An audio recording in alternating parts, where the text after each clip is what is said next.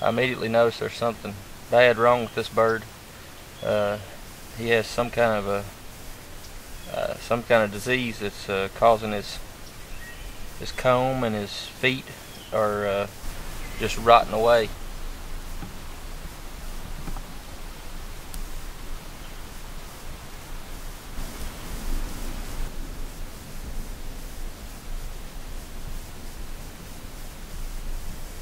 Don't want this, whatever he's got, spreading to the rest of the birds.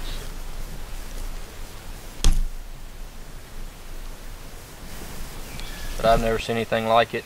I'm sure that it's, it's some sort of disease that uh, that birds, uh, chickens and turkeys uh, probably get.